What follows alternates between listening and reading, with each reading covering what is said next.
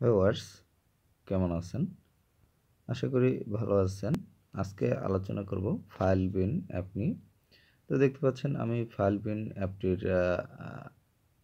Install করার পর open যখন ওপেন করার জন্য টাচ করলাম বা ক্লিক করলাম, তখন কিন্তু এরকম একটি ইন্টারফেস আমার সামনে উপস্থিত হলো এবং এখানে আপনি স্টার্ট বাটনে ক্লিক করবেন।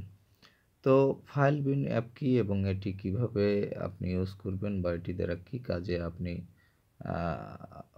কী কাজে ইউজ করতে পারেন সে বিষয়ে আলোচনা করব। তো সাথেই থাকবেন।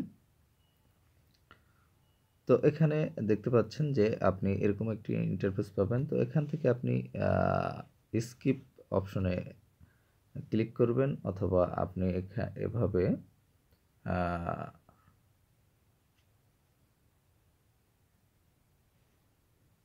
আপনি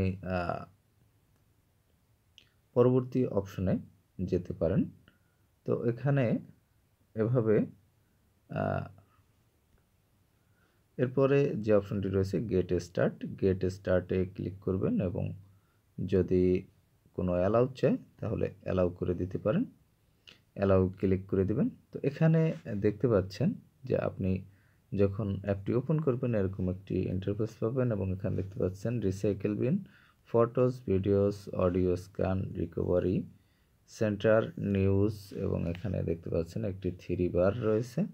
তো এখানে থ্রি বারে ক্লিক করলে আপনি এখানে দেখতে পাবেন সেটিংস এবং অ্যাবাউট অপশন এবং এখানে সেটিংস অপশনে আপনি শুধুমাত্র নোটিফিকেশন সেটিংস করতে পারবেন ডিসপ্লে এছাড়া আর তেমন কোনো সেটিংস নেই এবং আপনি এখানে যে অ্যাবাউট অপশন রয়েছে, এখান থেকে যে প্রাইভেসি পলিসি এবং টার্মস অফ সার্ভিসেস এটি সম্বন্ধে জানতে পারবেন এই অ্যাপের তো ভিউয়ার্স মূলত এই অ্যাপটি ব্যবহার করা হয় আপনার কোনো ডিলেট হওয়া ছবি ভিডিও অডিও এগুলো আপনি পুনরায় ফিরিয়ে আনার জন্য আপনি এই অ্যাপ থেকে আপনি ফ্রি আনতে পারবেন।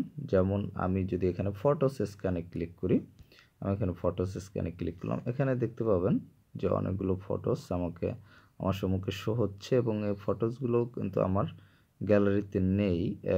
এগুলো অনেক পূর্বের।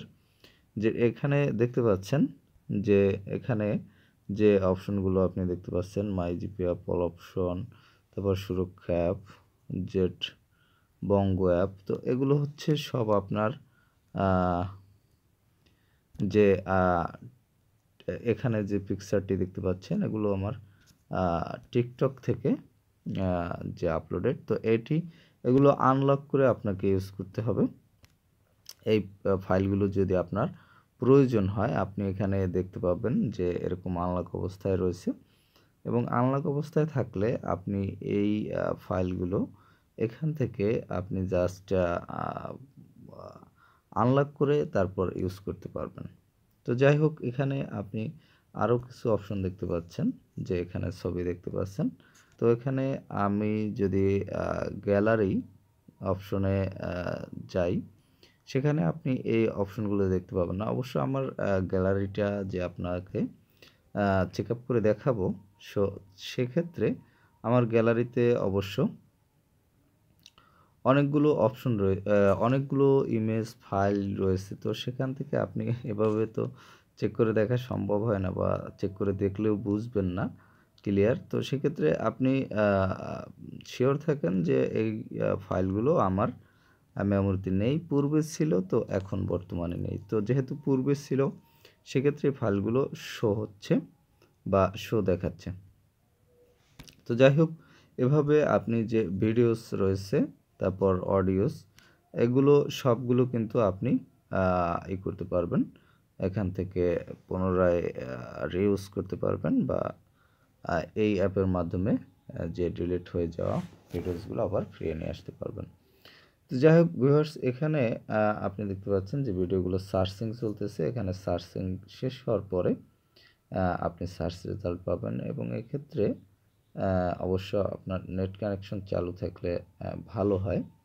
তো এরপরে যে অপশনটি রয়েছে অডিও স্ক্যান অডিও স্ক্যান তারপর হচ্ছে রিকভার্ড সেন্টার এখানে আপনি ক্লিক করলে যে আপনার যে রিকভার যে পিকচার ভিডিওস অডিওস ডকুমেন্ট এগুলো এখানে যে ফোল্ডার রয়েছে, সে ফোল্ডার অনুযায়ী আপনি এখান থেকে পাবেন। তো এগুলো অবশ্য মানে এমটি দেখাচ্ছে কারণ এখান থেকে আমি এখন পর্যন্ত কোনো ডকুমেন্ট বা ফাইল আমি এখান থেকে রিকভার করিনি সেজন্য। এবং এখানে দেখতে পাচ্ছেন রিসাইকেল বিন তো এখানে রিসাইকেল বিনেও এগুলো আপনি দেখতে পাবেন আপনার অডিও ভিডিও ফাইলগুলো তো যাই হোক ভিউয়ার্স ফাইল বিন থেকে আপনি এই কাজগুলো করতে পারবেন। তো ভিউয়ার্স তাহলে বুঝতে পারলেন যে ফাইল বিন অ্যাপটি কী এবং আপনি এটি কী কাজে ব্যবহার করতে পারবেন বা কীভাবে ইউজ করবেন। তো ভিউয়ার্স ভালো থাকবেন, কথা হবে পরবর্তীতে আবার অন্য কোনো ভিডিওতে